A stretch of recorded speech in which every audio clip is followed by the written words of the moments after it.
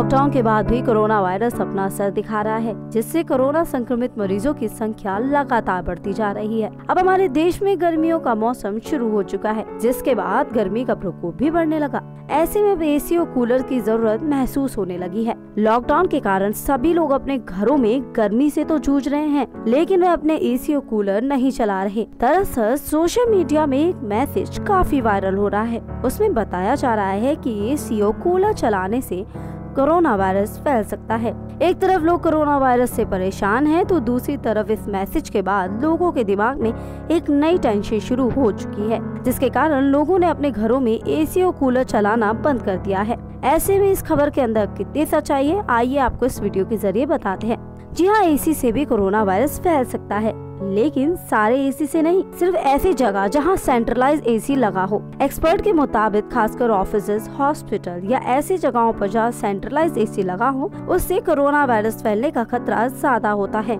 लेकिन अपने घर के एसी में कोरोना वायरस फैलने का खतरा नहीं है। सिंगल यूनिट एसी जैसे विंडो एसी और कार एसी से कोरोना वायरस फैलने का कोई खतरा नहीं है। एक रिपोर्ट के मुताबिक एम के डायरेक्टर डॉक्टर रणदीप गुलारिया कहते हैं कि एसी चलाने से कोरोना वायरस फैलने का खतरा तभी है जब क्रॉस वेंटिलेशन हो। यदि आपके घर में विंडो एसी लगा है तो उससे कमरे की हवा उसी कमरे तक रहेगी और इससे कोरोना वायरस के संक्रमण का खतरा नहीं होगा। अब एसी से कैसे वायरस फैल सकता है, चलिए आपको बताते हैं। विशेषज्ञों के अनुसार घरों में लगे एसी और कूलर के कारण कोरोना वायरस का खतरा नहीं है, लेकिन सार्वजनिक स्थलों पर इस्तेमाल किए जा रहे एसी और कूलर से कोरोना वायरस फैल सकता है। वही कौन सा एसी सबसे ज़्यादा खतरनाक है, इसके बारे में भी हम आपको बताते हैं। अधिकतर विशेषज्ञों का मानना है कि ऑफ़िस में प्रयोग किया जाने वाला सेंट्रलाइट यूनिट एसी इससे सबसे ज़्यादा वायरस फैल सकता है। यदि इसकी परिधि में संक्रमित कोरोना व्यक्ति मौजूद हो तो सेंट्रलाइज एरिया कंडीशनर सिस्टम द्वारा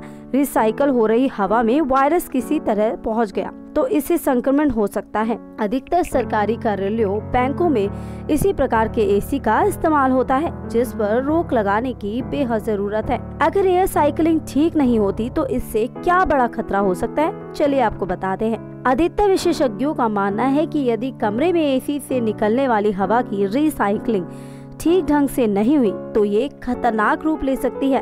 उनके अनुसार कमरे में हवा का निकास बाहर नहीं हो पाया और बाहर से हवा अंदर नहीं आ पाई तो इससे वायरस को फैलने का मौका मिलेगा। ऐसे में उन्होंने लोगों से एसी से बचने की सलाह दी है। क्या आपको पता है कि अस्पताल में भी सेंट्रलाइट एसी बंद किए जा चुके हैं। जिन अस्पतालों में कोरोना वायरस के मरीजों को भर्ती किया जा रहा है, उनमें सेंट्रलाइज एसी बंद किए जा रहे हैं और उनकी जगह विंडो एसी लगाए जा रहे हैं। इस मामले में एम्स के निर्देशक डॉक्टर गुलेरिया के मुताबिक अस्पतालों में एसी भी ज़रूरी है, क्योंकि जैसे जैसे गर्मी बढ़ेगी, डॉक्टर्स और हेल्थ केयर वर्कर्स की परेशानी भी बढ़ेगी, क्योंकि वो सभी पीपीआई पहनकर मरीजों का इलाज करते हुए नज़र आते हैं, जिससे वो गर्मी में पसीना पसीना हो जाते हैं। अगर इतनी गर्मी में बिना एसी के मरीज़ देखना पड़ेगा तो एक बड़ी समस्या खड़ी होगी। तो दोस्तों, आपने देखा कि किस तरीके के एसी का इस्तेमाल करने से फैल सकता है कोरोना वायरस। ऐसी ही अगर आपको बाकी बड़ी खबरें जाननी है तो जुड़े रहिए इंस्टापेट के साथ धन्यवाद